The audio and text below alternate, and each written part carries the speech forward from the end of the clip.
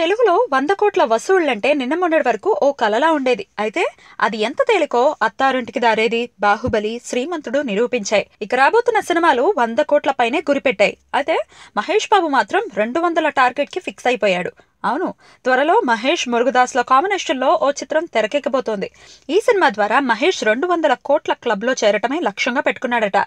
Two thousand sixteen ఏప్రిల్లో ఈ cinema పట్టాలెక్కబోతోంది Telugu తమిళ భాషల్లో ఏకకాలంలో తెరకెక్కి ఈ చిత్రానికి దాదాపు వంద కోట్ల బడ్జెట్ని నిర్దేశించింది చిత్ర బృందం మహేష్ సినిమా ఇంత భారీ బడ్జెట్తో తెరకెక్కడం ఇదే తొలిసారి. నూట యాభై కోట్ల గ్రాస్ తెచ్చుకున్న శ్రీమంతుడు బడ్జెట్ కేవలం నలభై కోట్లే. అయితే మురుగదాస్ కథకు ఆ మాత్రం బడ్జెట్ డిమాండ్ చేస్తోందట.